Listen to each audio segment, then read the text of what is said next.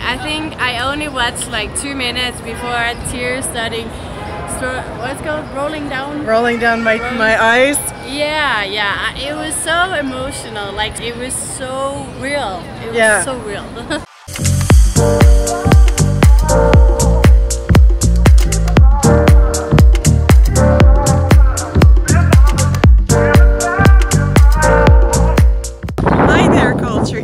How are you guys doing today? So this is day four, showing around Montreal to Lena around Ling Ling.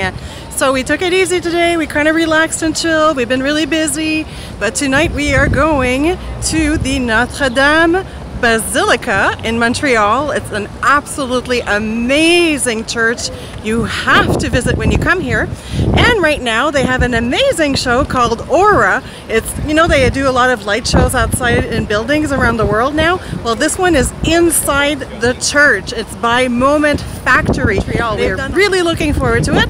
And I'll show you a little bit of footage of the park that is in front of the church before the show.